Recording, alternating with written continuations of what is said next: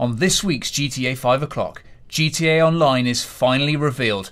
We travel to Rockstar North to see a 50 minute demo, release date, info, features, everything you need to know. It's a massive exclusive. It's this week's GTA 5 o'clock. Hello, welcome to this very special edition of GTA 5 o'clock. I'm Tim Weaver. I'm here with Dan Dawkins. Hello, Dan. Yeah, hi there. So, very exciting episode ahead, Dan. Why don't you tell the world why? Uh, well, we'll tell the world why. Uh, we cryptically said uh, two weeks ago that Tim and I were going on holiday. A lot of people speculated about where we were going, and it wasn't just for a romantic vacation to the seaside. Although that would have been nice. That, I mean, that that would have been nice in many ways, but no, we went in a plane to Scotland, to Edinburgh, to the offices of Rockstar North, the creators of GTA 5. We were among the first people in the world to see GTA Online. Now, today we're going to outline everything that GTA Online is. Uh, it's really pretty incredible given what people's expectations are. If you've listened to the show, you will have in fact had the heads up because we've been pretty accurate with our predictions for what it was along the line. But yeah, Tim and I are going to talk about our experiences of going to Rockstar North, um, what we saw in the demo of GTA Online, which is a 50 minute live demo, like almost an hour in fact, plus in a later show, we'll be talking about our exclusive interview, again, almost an hour long, with Rockstar North President Leslie Benzies. That was absolutely packed full of brilliant stuff, too much to even fit in today. So I will say, if you subscribe to us now, if you don't already, you'll be making sure you don't miss any of that content coming up in the upcoming days and weeks. So much stuff to put out there. Plus, follow us on at GTAV o'clock. I should definitely underline just how massive this is because Rockstar North never invite people up, up to their up to the Willy Wonka's chocolate factory, Dan. Uh, no, absolutely not. And so I think just the idea of even going up to Rockstar North was a big deal and pretty exciting. And I've certainly never been there in like almost a decade of professional games journalism, you know, mm. whatever that means. And um, yeah, it was incredible. And again, I've never had the chance to interview Leslie Benzies. It was just a really exciting, you know, experience. And that's even without knowing you were going to see GTA Online. Okay, well, you know, we'll get to it. What is GTA Online? I think the shock is, for a lot of people, if you said GTA 5 has no online mode, that would almost be correct because GTA Online, in Rockstar's eyes, is all you know effectively a standalone experience, um, and it's it's like we've rumored, it's a persistent online GTA universe where you enter into it, you grow, you build stats, you buy things, you take part in missions. Basically, everything you do in single player GTA 5, you can do in online GTA 5 in exactly the same world with no compromise. And we're going to run through all the features now.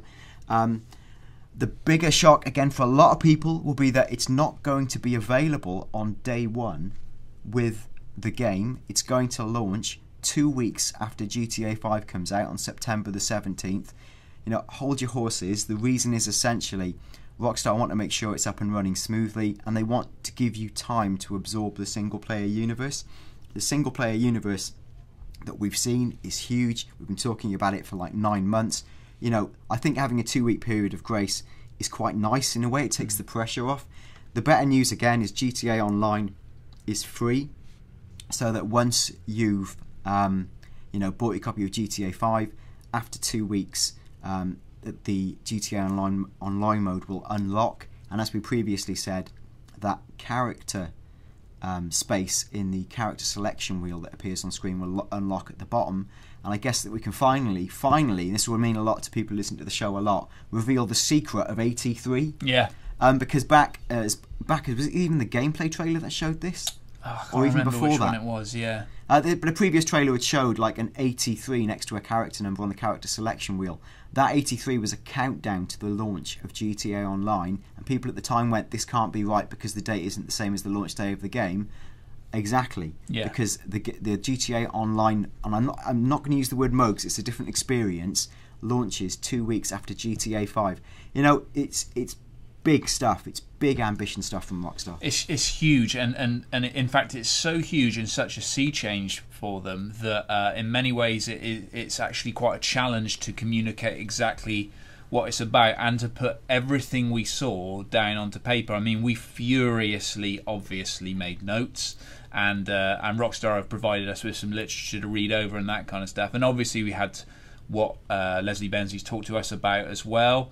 Um, but there's so much information. I think that's perhaps one of the reasons why Rockstar uh, wanted us to go out to North to see the game in the flesh and to chat to the game uh, people behind the game, is so that we could get it from the horse's mouth. Yeah, and I think you know Rockstar themselves are really acutely aware of like they've got to communicate this in the right way, and they want people to understand quite the scope and ambition of this world. GTA Online isn't something they've just thought about for GTA Five.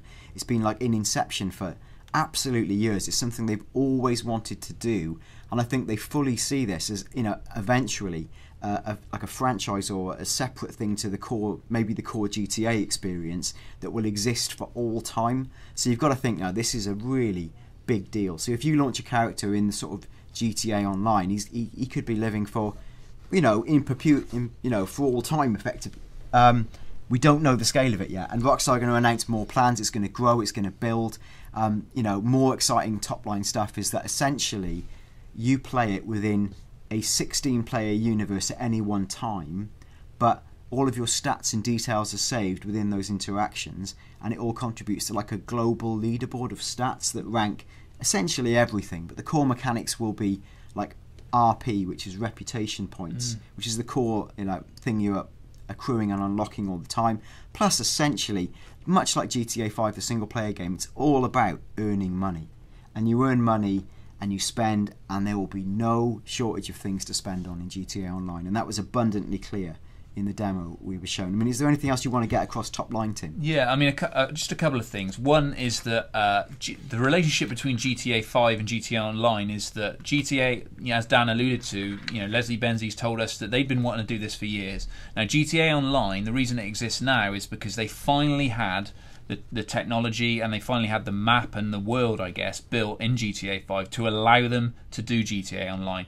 Now, GTA Online shares the same map as GTA 5, but it exists differently. You know, it's, it's parallel to that. It has its own missions. Yeah. It has it has its own it has its own characters, its own world, all, all that kind of stuff. So it is separate, but it uses GTA 5's technology as a jumping off point. Yeah, and you've got to look at it as whilst it launches using the world that GTA 5 is built in, that fully modelled Los Santos, and again, we saw that running without compromising GTA Online.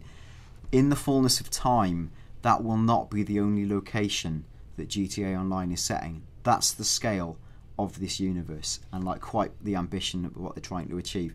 Now again, you know, I'm I'm scared of overselling it or trying to make it sound like something it isn't. A lot of the mechanics within it we have seen in different ways in different games throughout the years, but it's the way that Rockstar are bringing it all together in, you know, let's face it, the obscenely attractive GTA universe and doing all that great stuff. It's just really exciting, and I think it's that it's that ambition to bring all those elements together into one game.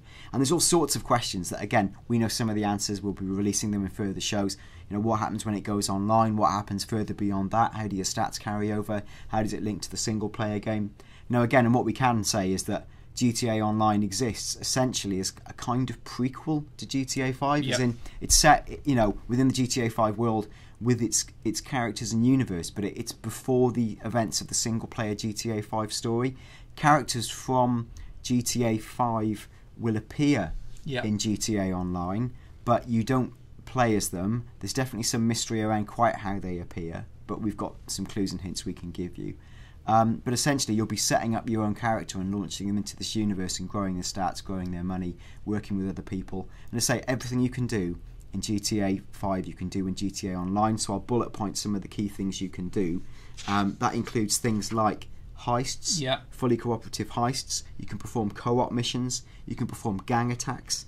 There'll be competitive activities like death matches, an impromptu death match. There'll be races. There'll be sports activities like you know tennis, golf, base jumping, shooting range, all those kinds of things. There'll be what's called ambient events like hold-ups of delivery stores.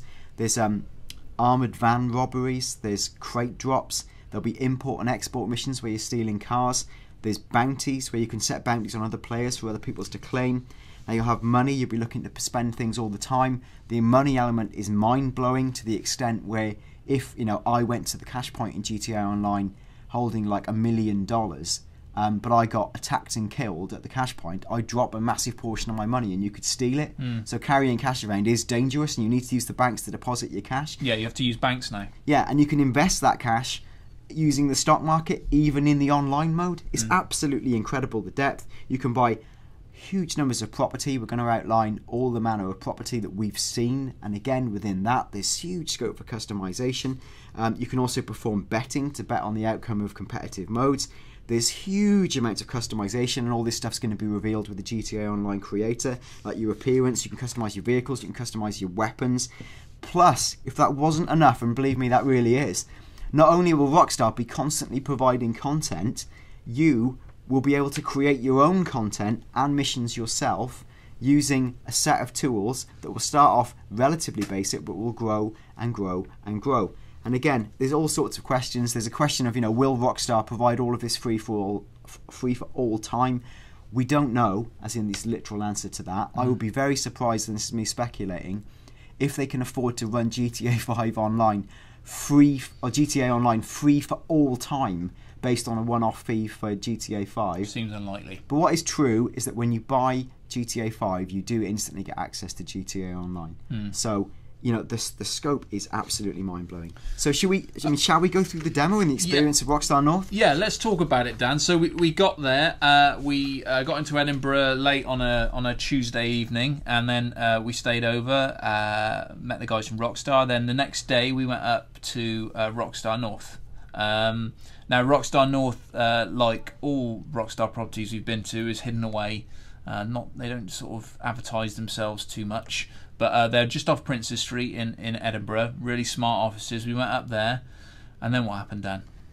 Oh well, the big thing I would say is whilst it is hidden, it's not so hidden that you can't actually see the Rockstar North sign from the street. You can if you go up to the glass. Yeah, yeah. I, I, I, always thought it was like literally an unmarked building. You know, yeah. that you had to know a secret code and do the handshake. But yeah. you can see it, and I think if you lived in Edinburgh, you wouldn't know where the offices are. Mm. Getting in the office is a different thing because yeah. there's all sorts of glass barriers. When we were in, like lots of different security. So you know, we went in with a, like a small party of other journalists. Uh, we were certainly the only UK journalists there. Um, and so we're the only online show there. Yeah. Uh, you know, the online YouTube show there to see it. Um, so yeah, we went up.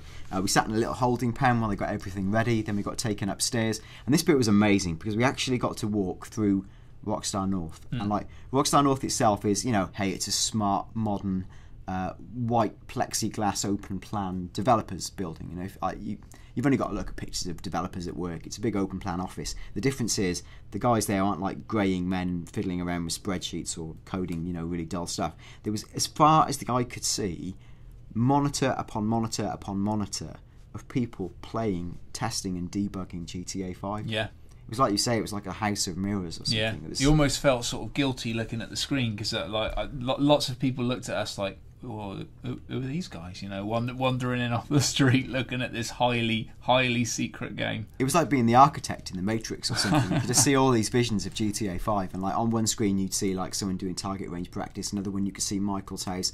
On another one I could see a guy fi- piloting a jet fighter through a canyon. Yeah, it was like. Oh, should I see this stuff? And it's like, yeah, I'm seeing it. Yeah, uh, and you're clocking it, and it's so exciting, you know. And you, then you go, you round in upstairs, um, past the building. I've, I found it, I quite liked it in, in our previous lives as uh, UK magazine editors. You could see some of the magazines we edited on the yeah. newsstands there. Yeah. That was really sweet. Uh, so we went in. What was super nice as well is that you know, Rockstar have listened to the show. That's brilliant. Like we're delighted that Rockstar have listened to the yeah. show. Everyone there was super lovely. It was really nice to introduce ourselves, and it was weird because a lot of people were like, hey, we know who you are. Yeah. And it's like, oh, this is weird. yeah, that's right. So they sat us down in the demo room. We had three TV screens uh, on the go at the same time. We sat down. Uh, we got introduced to Leslie Benzies and a couple of the other guys from the team um, who were going to demo the game for us, and uh, and and then the demo kind of kicked off. We had a bit of spiel from from the guys at, at Rockstar before about what they were trying to achieve with GTA Online and that kind of stuff, and I think you outlined that at the start of the show, uh, Dan. Unless you want to add something. Uh, no, as I say, we basically sat down in a big row. There's three big screens in front of us. I think at, the start there was like one active screen we were looking at mm. in the centre. That was where GTA 5 was running. First thing that struck me was, you know, visually it just looks like GTA 5. It looks like the GTA 5 that I'd, you know, I'd seen with Tim when we went to see the uh, demo quite yep. a few months back. It looked exactly like that. There was mm no compromise, no holding back.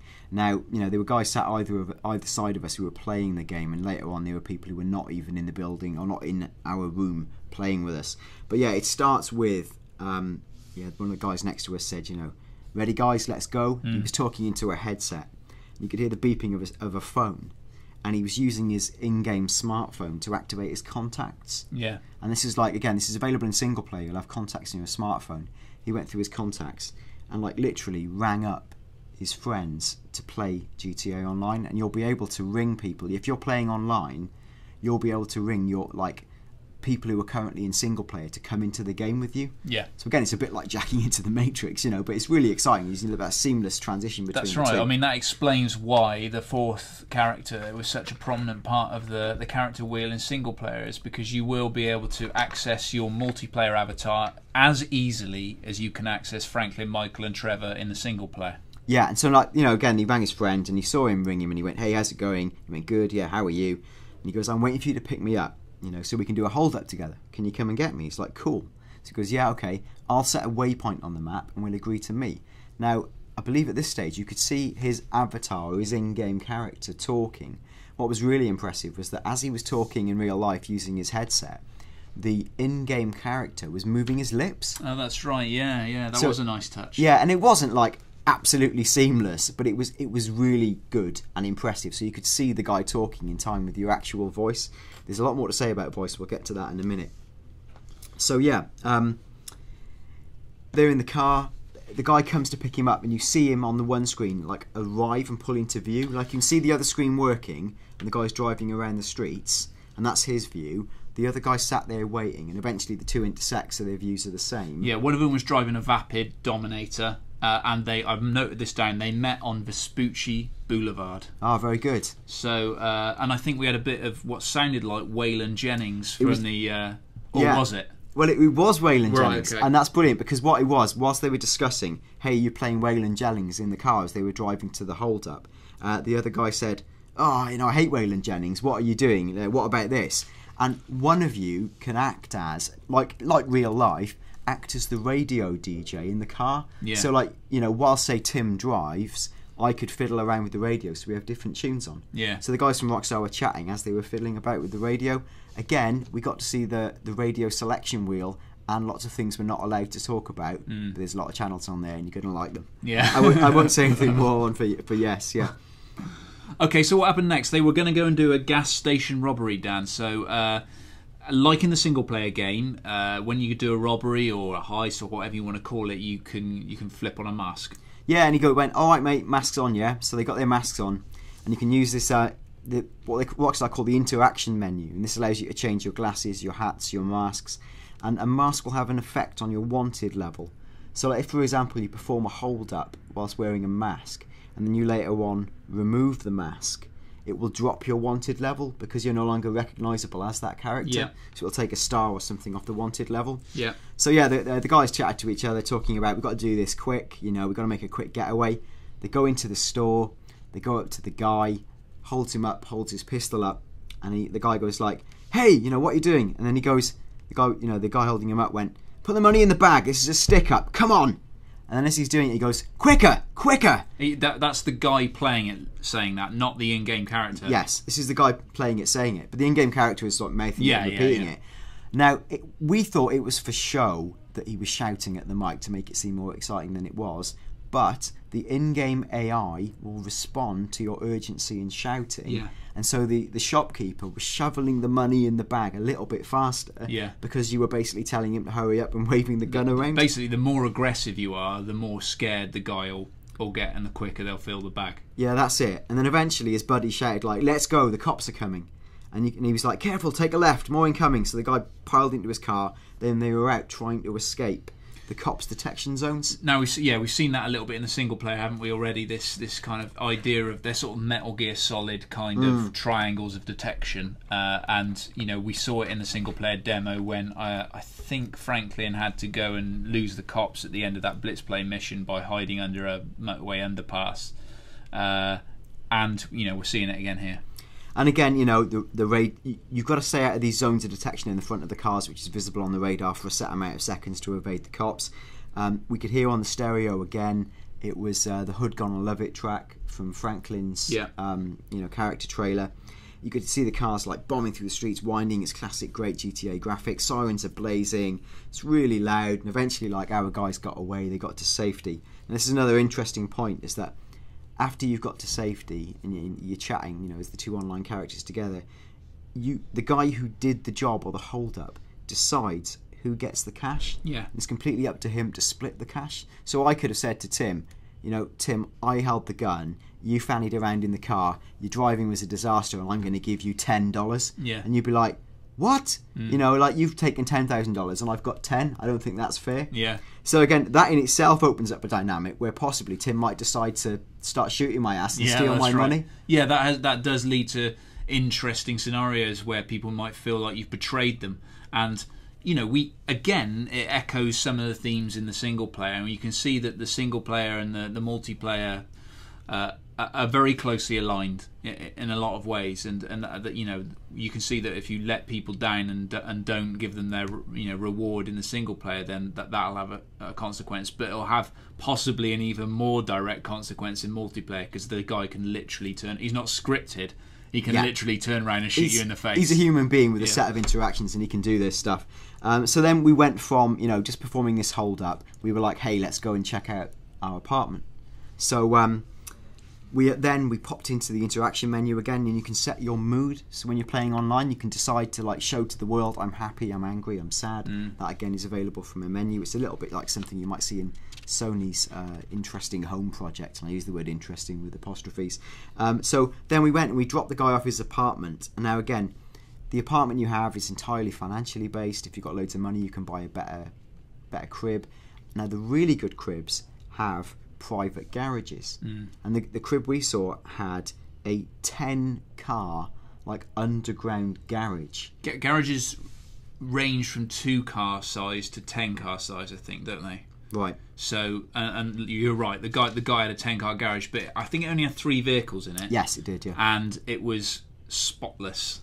It looked like a car showroom, didn't it? Yeah, it looked like a sort of uh, show reel from the Apple factory or something. it was all like that's right. glimmering plexiglass, beautiful, immaculate, uh, customized motors in there. And again, you know, the the more cars you have, the more you can customize them, the more chance you have winning races. And I mean, you can use them as a sort of showroom because you- as you go around your garage, stats appear above the car, telling you what Yeah. you know how the car breaks down and all that sort of stuff. And of course, stats will change as you add turbos and mods and that kind of stuff. Yeah, that's it. And he says like we're going to do a job. Uh, you can do a race at any point in the game. So you pick the right car for racing or Yeah. whatever it was he was going to do. Um, and then again, you set a waypoint for the race, don't you? To say we're Yeah. going to race by here. Just one thing that when he picked the car for this for for, for the race, uh, he got into a convertible. Uh, do you remember what happened? He popped down the Yeah. the, the, hood, the roof of his car and it went. Zzz. It was just a nice little touch. the scope for showing off, like the customization, a lot of it is just going to be ludicrous stuff to look like a badass. There's nothing wrong with that. I'm Yeah. really pro it. Uh, and again, w- well, we we there's a little thing you do later on that will tie with the ability to fl- flip down your roof. That's really fun. So they were all like, lots of guys were talking. There's lots of banter before the waypoint race. They're like, here we are, let's do this. And then like you know the markers on the map you see are where you trigger the missions from. So they set up an impromptu race, Dan. I, I spotted while they were they were there or thereabouts that it was it looked to be in and around Vinewood Boulevard, which of course we saw quite a lot of in the Michael Yeah. segment of the single player demo. I saw the Doppler cinema and all that sort of stuff that we saw Yeah. around you know around the um, around the demo, and and so they yeah they set a GPS waypoint. Uh, they triggered an impromptu race, and they had a race. Yeah, they had a race, and it was just like you know what you'd expect a high-speed street race to be. No graphical compromise. Uh, what strikes you is the real like it's the blurring neon at night in Vinewood, and we said this on a previous episode. It's that pace and it's probably feel. worth pointing out that this was all. Was it all at night, or was it just this section? Uh, certainly, this section struck me as at Yeah. night. I think so. I, I can't remember. Some of the other stuff was at day. I think. Yeah, uh, so it was yeah had that real like you know long time listeners to the show will know that we talked a lot about that sort of as Dan says that sort of neon streaked quality that the Vinewood area has and the Boulevard has, and it definitely definitely had that kind of feel to it. And eventually, someone won, and when you win a race, uh, you know you get to say, "Hey, you won." You get given uh, RP points. I think he, I think he you won eighty dollars as well for winning it. Oh, eighty dollars. Yeah. Yeah. so it's not a great amount of cash, but you do win cash. And again, like you can place bets on the outcome of races and things like that, so you can actually increase your stake if you're really confident.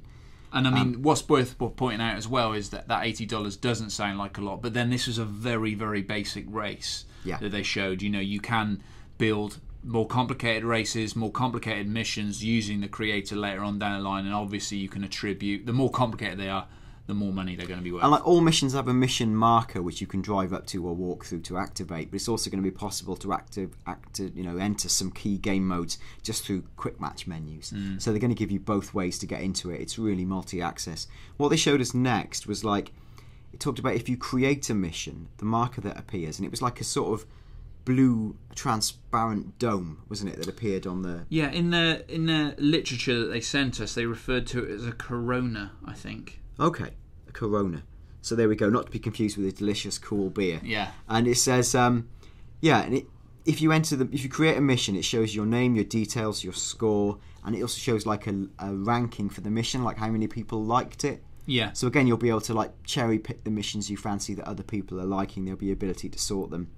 So yeah, so they met up and then they agreed to do um, like a group robbery of bikes from something called the Maibatsu fac- factory. Yeah, yeah. The mission was called the Maibatsu Factory Steal. They were going to uh, they were going to steal a shipment of bikes uh, from the factory. The factory was super heavily guarded, although not as super heavily guarded as a mission we'll get onto in a, in a second. But it was guarded enough, and they had to come at it from different angles and from different heights. Yeah, and it wasn't just the, there was the two of them we'd done the hold up together. Now at this point they went, we're going to need backup for this. We're going to call in two of our friends. So on the screens, you know, on the side of our actual vision, the two more screens lit up, and there were two more guys active in the game. So there was like four of them in an active posse at this stage. Uh, and like the lead guy was talking about, um, he says we're going to need a lookout, a sniper. We're going to need a couple of transporters, which I guess means drivers. Yeah, And he says, yeah, hey, do you want to come with me and be a transporter? You can be the lookout. Can Yeah. you navigate? And it's again this sense of, and again, this is what we've talked about on the show and we've predicted. You'll be able to choose people based on their abilities and assign them to tasks according to what you want to achieve. Now, again, it says like it talks about the transition from picking the mission to entering it is absolutely painless. It was seamless. It, felt like a similar thing to um, almost like jumping in the doof, doof, doof, the What- radar. What I also liked about it was that there was no. I mean, there will be the opportunity to just go out all guns blazing and kill people, I guess, within the world if you're that way inclined. But what I liked about it was there was a real emphasis on the sharing of resources, the sharing of expertise. There was a real sense of uh, you get from like MMOs, you know, that sort of real sense of sharing the world, not just destroying it and Yeah. destroying other people. And you, can play co- cooperative or, or like a real awful person if you want. But what's nice as well before the mission is if you've got a brilliant cache of weapons, you can share them out amongst your friends and go, you have my brilliant Uzi, you have the shotgun. You know, you, you can give people you trust equipment to get the job done. And in fact, that's exactly what they did. I think before they went in, when someone shared, one of the guys shared a sniper rifle. They shared ammo, uh, other weapons. I think they even shared.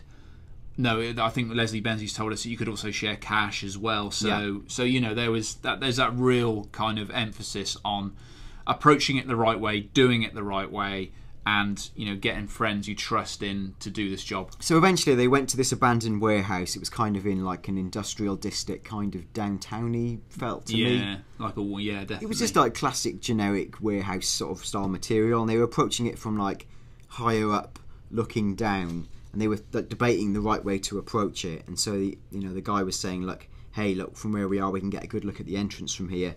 The other guy said, "Yeah, it looks clear. Let me know when you're in place." And they're all moving independently, getting into slots. Now the one guy went, "I've got a guard." He goes, "I could take him out now, as in with a sniper shot."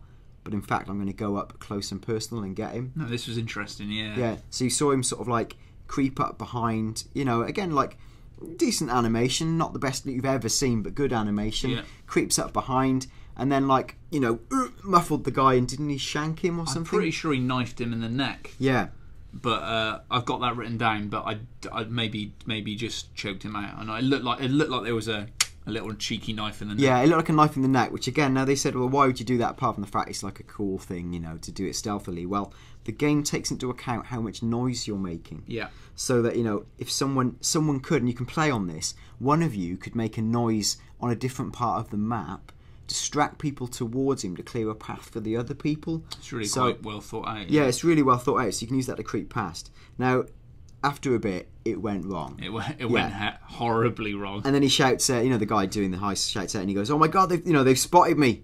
I need some covering fire." So then, next thing you know, this this shots coming in left, right, and centre. There's heads popping. There's sniping, uh, and they were like coordinating as they did it. So they were like, "You take the left, I'll take the right. You know, cover Yeah. me behind you, coming in on your left. Watch out behind the trailer. Are you guys here?" And it was like you would play a, a co-op deathmatch. You Yeah. know, you're all trying to coordinate at the same time. yeah, And he was like, behind you, give me cover.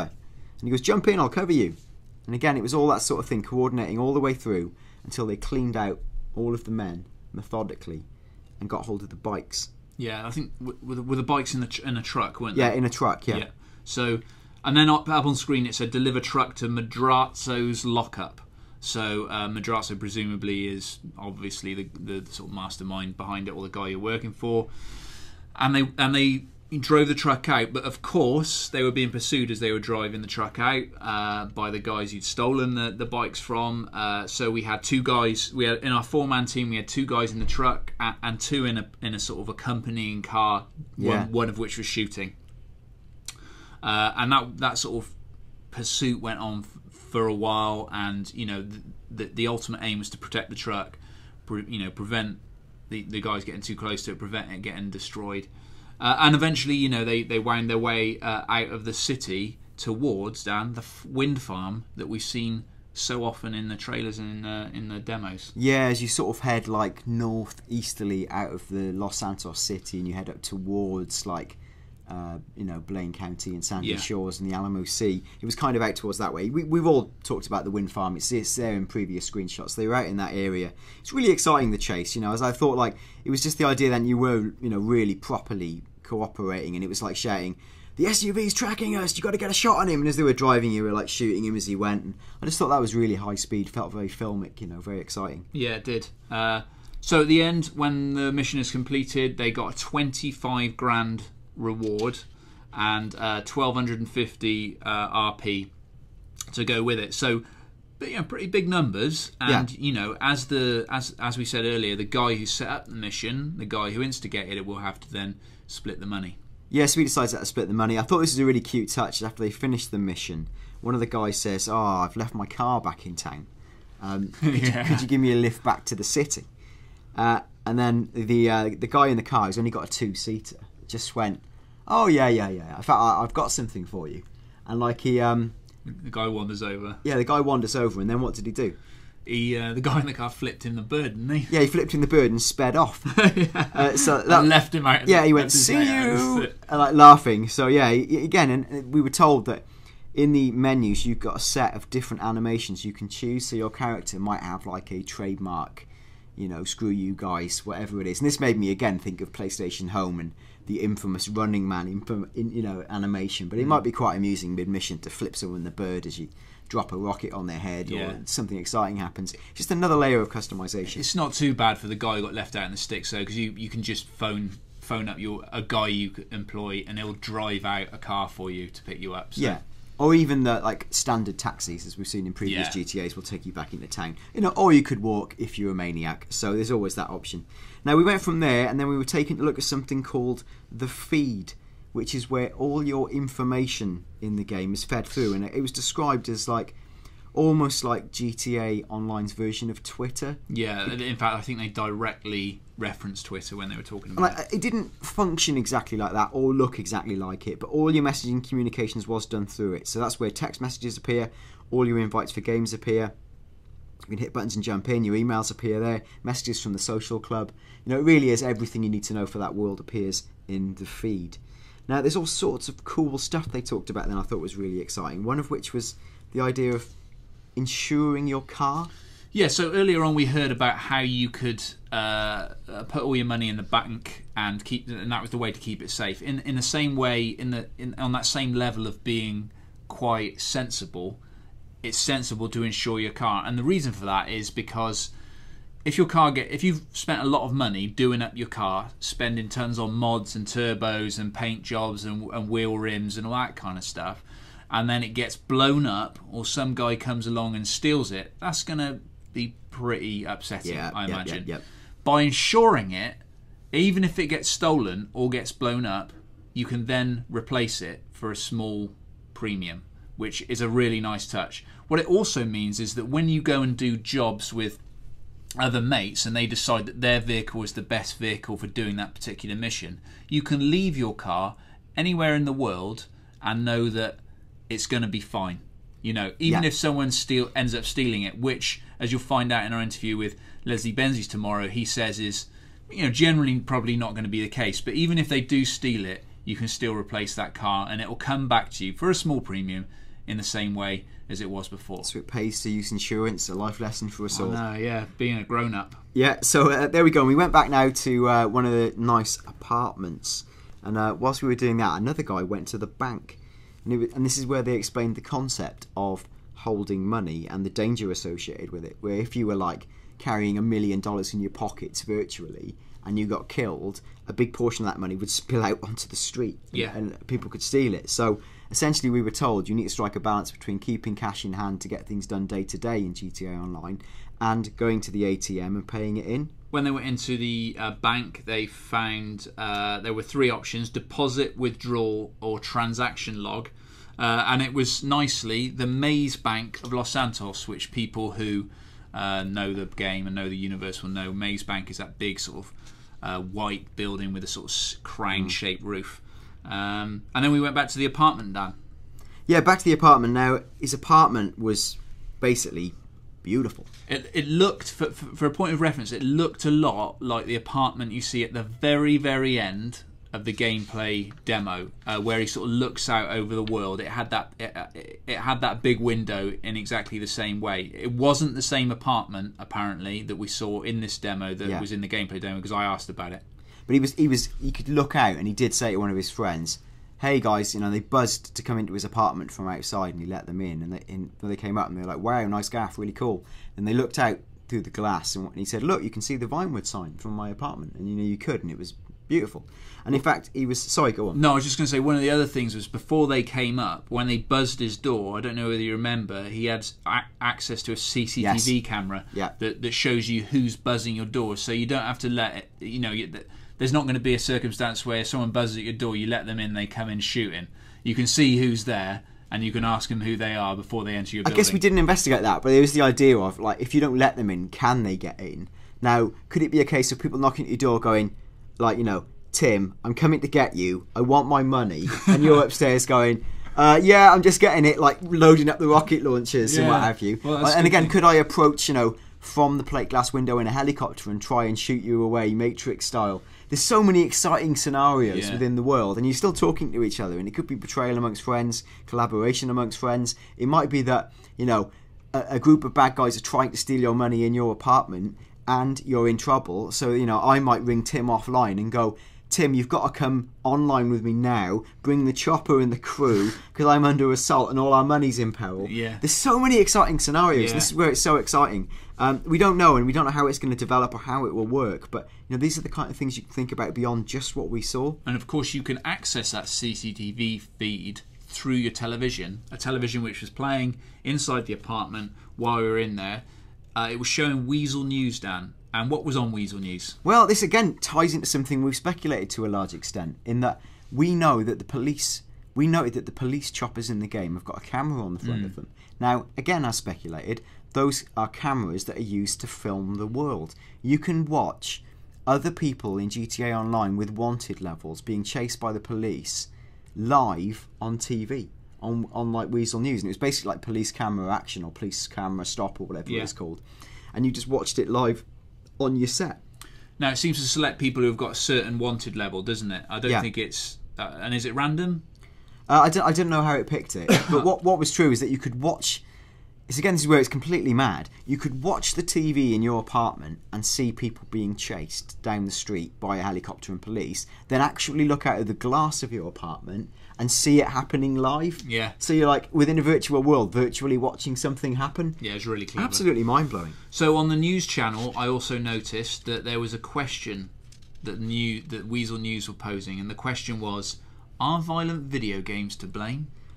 Which I thought was quite a nice. Yeah, it's just that great satire again. We also saw um, another TV show. It looks like TV shows are back, and there was one with like a detective, like a 1930s detective animal, or I, I can't a remember. moose, I think, and I think I think the, uh, the the the sign on his door Yeah. said Moosehead Investigations. I think we asked Leslie Benzies about it when we interviewed him, but he, he wouldn't he wouldn't tell us. So uh, so, but I think it said Moosehead Investigations. So yeah, again, expect a huge density of, of TV programming even within GTA Online. It's, it's incredible, you know. So we went from yeah, the guys met up, they were in the apartment, they were chatting. Uh, he talked about the Vinewood sign. Then he said, you know, right, we're going to go now into the big event, a heist, a coordinated four-player heist. Now these heists are similar, they or they can be similar to the ones in single player. They will have up to, I think Leslie Benzies quoted twenty different components. Yeah, Uh, so they're big. This one I don't know where it ranked on that scale, but um, but it was a big it was a big heist. The the heist basically was there's a Titan, which is a as people will know a big big big plane uh, at the airport being guarded by Merryweather. I'm not sure who Merryweather is, Dan. No, I, I don't know. I, I don't know if they're like a security organisation or a private firm or what you know whatever they are. Whether they're a military organisation, I don't know.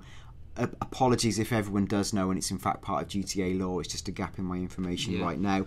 But yeah, they had to steal it from Merryweather. The airport was the big main airport on the southern tip of the city, as well established. We've seen screenshots of it. We talked about it in mapping shows. So they had to go down there. So there's a lot of planning to be done. So they talked about, you know, saying, hey, this is a tough job. We need to call the other guys in. So they got four of them together. They were talking. They said, look, we need a chopper to get to the airport. You know, has any of you, have any of you got them? And again, different characters or different ones of your friends, some of you might have access to choppers. So you need to call in someone who can call in different vehicles. This is when you invite people, you can see their skills, whether they're good at driving, whether they're good at flying, whether they're a good shooter, whether they've got access to boats, to helicopters, to planes. You know, it's got all those different things when you choose who's going to come in your crew with you. Yeah. So they found a guy who had a chopper, and then their, their big discussion was right, we need to tool up for this job. We're going to ammunition. Yeah. So they went to the big ammunition store, as we've picked out previously on the show, near the Mile High Club, mm. as seen on a previous screenshot. So they went down there, and the brilliant thing about that ammunition is there's a helipad on the roof. Useful. Yeah, so dead useful. useful. So two of the guys were on the roof, landed, and the others are actually in the shop buying weapons. Mm. Um, and again, it's fantastic. It was saying that you know, the guy who's got access to choppers rings a lifestyle company called Pegasus, Yeah. who sorted out the chopper for him, and they can deliver your private jets and helicopters to your like private airpads. Yeah. It's it's mind blowing, really. Isn't Yeah, it is, and it, this is why it's such a it's, this episode's so long because it's so much to describe. Yeah. and we thought about different ways to try and do this, but we're just trying to do the best we can to relay the volume of information. I bet Rockstar have thought the same. Yeah. So yeah, and different vehicles then can take different amounts of people. So for example, some of the jets in the game can carry up to ten people, and our bigger helicopters can carry different amounts of people. Like the more you spend on your, your your vehicles, the more you can carry to a job. Think about performing, and again, a lot of the missions we saw weren't player versus player, as in human being player. They were like teams versus AI. Yeah. Now, you know, could you have a 16 player squad taking on the mother of all AI, flying in in your huge Titan Yeah. bombers? You know, it's absolutely incredible. Yeah, yeah, and the scale and ambition is incredible. So, the Titan is hidden in an air, aircraft hangar at Los Santos Airport. Yeah. Uh, the guys head in there in their chopper. Um, were they all in the chopper? Well, I, I think I think they were in the chopper, and they were like, you know, coming in in the chopper. They were like, "We're going to go to the airfield. We're gaining some altitude," and it was the classic Oh, GTA right, controls were, for the yes, altitude. of course they were. And he says, "We're going to get to a point," and he said to one of the other guys, "Can you set a waypoint for us all to meet on the ground?" So they did that whilst they were in the air. That's the waypoint, and he goes, "I'm going to get you up to the right altitude." And you're all going to jump out and parachute That's to the right. ground. Of course, how And could I forget? Yeah, and he says he goes, he goes, there we go, look to your right, you can see the hangar, second one in. Right, place a waypoint, we'll meet there. And he went, get ready, three, two, one, jump. And then they all jumped out. Yeah, it was a lovely moment. Yeah, it's beautifully orchestrated, and they're all there in the air, like flying down in their own little way. They meet at the way, you know, they meet at the waypoint on the ground, and then they start talking about how they're going to approach it. So it was like, you know, okay, guys, there's a few of them in there. We've got to be really careful. And he goes, I'm going to go in first. I'm going to go in close and personal. And again, it was, I'm going to use a stealth tactic to, you know, go in and, you know, hurt the guy beyond all repair. So, um, yeah, and he goes, I can see the hangar. He goes, and the other guy was scattered. The guy in the chopper could he was up in the air still while three of them were on the ground, coordinating them because he had a better view. So he'd be he'd be shouting down to them, saying, I can see the hangar. He says, I can see a few Patriot cars either side of the target. There's loads of guys. You've got to be careful. And he goes, Whoa, wait, I've spotted a truck blocking the path of the plane. You've got to move it out of the way. So then they go in, and before you know it, it's an It's all absolute. kicking off. It's a gu- it's a gun fest. Yeah, there are loads of people. I mean, we talked earlier about the the bike factory steel. Uh, that there were lots of people there, but there were t- tons of people here. And each mission is is as I said earlier is going to be you know guarded more heavily dependent on what the spoils are. And this one was you know guarded with pro level guards. You know they they were they were not going to let that plane plane go out of that hangar very Yeah, easily. and guards kept appearing. So he'd be like, "There's two guys, no, three behind you. Guys on the left, one on the right. Shoot, shoot, shoot! Look out behind you! He's behind you! Keep them covered!" And he was like shouting. It's like, "Okay, okay," and it's just non-stop shooting. Blah blah blah blah blah. Guy from the helicopter trying to coordinate it all. And eventually, they thinned out the volume of uh, Yeah. guards incoming. One of them got into the Titan Yeah. plane and started to like. It's a great moment. pulling yeah. out slowly along the floor. And as he's doing it, more guards are coming in and shooting. And then the other guy on the ground's running, going, "Wait for me! I'm going to catch you up!" And the guy in the chopper was shouting like. You've got to get in the plane. We've got to pull off. We've got to pull off. Yeah. And then, like, yeah, he, he jumped in the plane. The plane starts to pull off. They go off onto the runway. They're being shot at. He's like going along the runway. They're running out of tarmac. So he's shouting like, "We're on the runway. You've got to pull up. Pull up." Pulls up, like, woo, you know, like massive elation moment. Yeah. Soundtrack changes. Oof, and then it's like, okay, we're pulling up the landing gear, and you can see the landing gear flip up, and then they're like, right, we're in the air, we're off. And I think at this point, ambient that, that sort of ambient soundtrack kind of kicked in. Uh, but uh, yeah, n- we can't underline how great that moment was because that is a big plane to get off a fairly short runway, and it was really tense, kind of watching it as you were going to the end. You go, they're not going to make it. They're not going to make it. Yeah. They're not going to make it, and then they did. And that came out.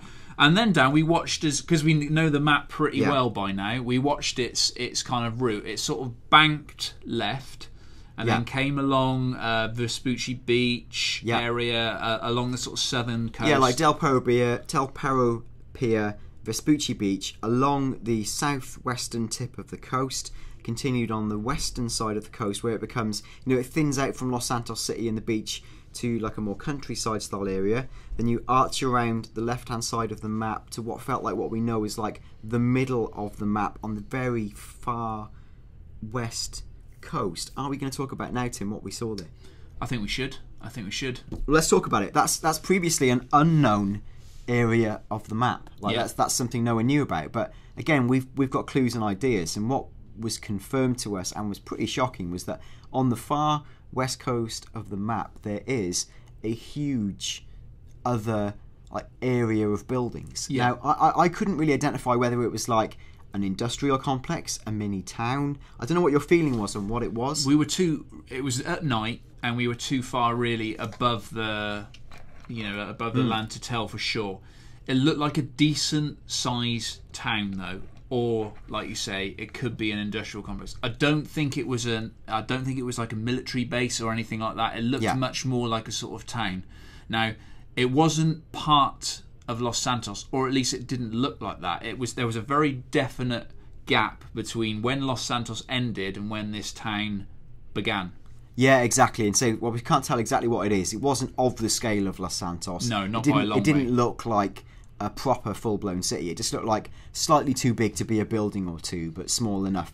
You know, similar-ish scale, but maybe even smaller than what we know of the area called Paleto to the north. Yeah. Which again is a subject of a heist we've talked about on previous episodes of GTA Five O'clock. Check them out. Um, yeah, and so that was like a revelation to us, and then we were taken along from there, sort of curving off to the right, if you imagine looking at the map, south facing north, like top down, um, and we went along a river. Now, again, you know, it wasn't made explicit to us, but because we know the map, we said, well, look, that's the Zancudo River, isn't it? Because that's tra- that trademark is like a snaking S, and it's quite low, and it's got sand flats. And in fact, this is brilliant. I, I'll give away one thing from our Yeah. Leslie Benzies interview. Um, we chatted to Leslie Benzies, and um, we were discussing what we thought was the route out. Um, and we'd said to uh, Leslie Benzies, okay, you know, we left Los Santos Airport, we went along past Vespucci Beach, we took the coast exactly as we described it. We went along the west, the western front, that was a new area. We followed the Zancudo River, then we went along to, and like the, the one of the PRs there was like, whoa, I'm not really sure we're, we're talking about any of those areas yet. Uh, but we said, well, it's not up for debate. It just is that thing. Yeah. We, we know it. And like Leslie Benzies laughed and he went like, "You guys really know your shit, don't you?" yeah. That was really nice. It was like, yeah, great, fantastic. reassuring. this nine months of work was worth it Yeah, for this right. one bit of kudos. So um, yeah, it was fantastic. And then he landed on a, an airstrip in Sandy Shores. And it tied up everything we've mapped about the geography because he followed along, yeah, Zancudo River, went to Sandy Shores. We saw the Sandy Shores airstrip directly south of the Alamo Sea, as we've predicted, and it really was on the southern tip of it along that coast. Sandy Shores was really close. Came in and he landed. And it was just nice to tie up all those little geographical loose ends we've been talking about. And that pretty much, Dan, was the end of the demo. Uh, that was the last bit they showed of the world. Um, there's tons and tons of little tiny things that we haven't uh, had the opportunity to talk about today, which we will cover over the next couple of weeks. Oh, so much, so much. We haven't talked about like what you can really buy with your um, with your money, uh, the scope for customization, the scope for creation, and quite what the tools are and what you can do. We haven't talked about how we think the world's going to expand. We haven't talked about sports events. We haven't really talked about truly how competitive multiplayer works. We haven't really talked about how the stats are tracked and what those stats are. We're going to talk about all these things. It's it's incredible. Like and I say, and this is scratching the surface, and we've got even more stuff to come. Um, we'll be back what tomorrow, Tomorrow, yeah. With an interview with Leslie Benzies. Yeah. Um, I guess before we, we leap off, I guess we should talk about what we thought of it. like Yeah. the impressions and Yeah, like how it was. Well, you, you kick off. Yeah, I mean, essentially, this is the thing that was reassuring was that we've been predicting on the show for six months plus because again, I've researched it, I've looked into things Sam Houser has said and the way the world is moving, and I'd said, look, the game's going to be a persistent MMO style multiplayer, and you know, again. People have variously mocked me on Twitter for saying that. We, we have had a lot of people on, on YouTube and on Twitter calling us out saying it absolutely will not be this. and to be fair, I could have been wrong. We could have been wrong. And, and you're right to say that, but right now I'm going to blow the trumpet of victory because yes, it was. Thank God. You know, It, it wasn't guesswork though, Dan. It was never guesswork. yeah, exactly. That's the thing that's frustrating. It was never guesswork. It It was was just, based on what's what the Housers have always wanted GTA to be. and it was really nice to have that confirmed and to literally speak to to Leslie Benzies and find out that's always been their vision. Of course, it has, and to see it in action was just so exciting. And as I said earlier on, it's not necessarily that what they're doing is something that nobody has ever done before. Um, but it's piecing those elements together within the GTA universe, and that's one of the most rich, emergent game worlds there can be. Yeah. and they've got a total handle on like what's cool, what's fun, what people want from a modern online game. Um, all that's in there. So much stuff yet to be talked about. Visually, you know, it just looks like GTA 5. Um, we asked Leslie Benzies again, what compromises are you making with the visuals? And he essentially said, well, none. You know, we're Yeah. not. And again, it was. I, I thought at times when we were playing uh, or watching the heist missions, I felt like the character models weren't as as high definition as and as resolved as perhaps some of the cutscenes in the trailers have led us to believe. That that's basically why I asked that question, and we'll talk about his answer tomorrow. But Yeah. that's basically why I asked that question in interviews because I also thought it perhaps wasn't quite as refined as as even in the single player. But then I guess. I mean, I'm no programmer, but I guess you know, like if GTA 5 single player is ultra ambitious, GTA Online is ultra ultra ambitious. You know, the amount Yeah. they're trying to do. Yeah. So there are going to be tiny compromises, but by no means, no means did the game look bad. No, not at all. And it might just be a function of the scale because a lot of the missions we viewed down a sniper lens from a long distance. So I think it's more a function of if you're up close next to a character model, he obviously looks better. That's just the way these things work. So mm. I do not want anyone to get under the impression that the visuals are bad because no, they were actually hugely impressive given the scale Yeah. of the ambition. Yeah. Um, I didn't feel like in any way that was an issue. It's just something to note. And again, there was no visible slowdown. There was no mess ups. All the voice chat worked really, really well. The menus seemed to work really well. And you could maybe say that you know the menus for someone seeing it for the first time maybe weren't as intuitive as maybe they could be. But again, I haven't actually played it. Yeah. You know, and I, I couldn't say. And, and again, I think what Rockstar are acutely aware of is the way they need to introduce you to the complexity of this world is gently and by the hand. Mm. So we'll talk about this more in the Leslie Benzies interview. But there is a set mechanic for introducing the world to you and for the way GTA Online works, especially as a prequel to the main GTA 5 story and world not all of it is known, but we've got some really cool stuff, and we're going to do some more great speculation from that. But generally, like, wow, they're doing it now. The thing we thought, you know, might be at the tip of their ambitions, they're actually doing it.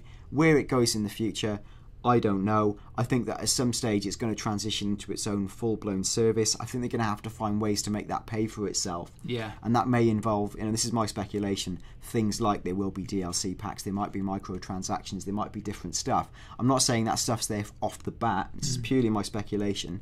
They're going to have to do that to make it work as an online service in full time because to provide something of this scale for free forever would be frankly insane to expect. it. especially if they continue building that that Yeah. on you know they've built foundations of their online world and they are only going to continue building it and building it and building it and that costs money Yeah, and to give so much away at the start for free, on top of what is already the incredibly ambitious, possibly generation defining single player game, it's pretty amazing. But you know, again, you can approach it different ways. You could go coolly and analytically. Oh, it's the it's like the MMO function of this meets the thing of this, and this game did this multiplayer mode different, and Uncharted's done that. And you could do all those things, but it's seeing it all in the GTA world, alive and at once, and with all those cool things to buy, and just being cool. It was really exciting. Um, one other thing I just want to add on the end is that even if, like me, you're not a massive, massive multiplayer game, you you prefer your kind of single player experiences. There's something for you in online because it's more styled more like an MMO. You can go into that world by yourself and just wander around and soak it in and, and you know en- enjoy it and be a part of it and contribute to it. And there's such an emphasis on sharing expertise and sharing spoils and sharing weapons and sharing vehicles and that sort of stuff that it's a much more uh, it's a perhaps less aggressive environment. Don't get me wrong. I'm sure there will be people on there being extremely aggressive. Yeah. But I think it's there's the potential for it to be le- much less aggressive and therefore much less intimidating to people who perhaps don't like their multiplayer games. And you can that. choose of the 16 players you're active with at any one time. You can kind of it will preferentially pick people who are your friends, your mates. You might want to collaborate and play it together in a cool, nice, sharing way. The other people it will bring into the world will be like of equivalent RP levels. yeah. Um, so all those things are nice. They're managed. You can even choose if you want to like not play like an active role in the game, but play what in what they call this passive mode, just to get used to the world and things you can do in it. So you can't shoot or be shot whilst you're in that mode. We've got loads more answers like that for you in forthcoming shows.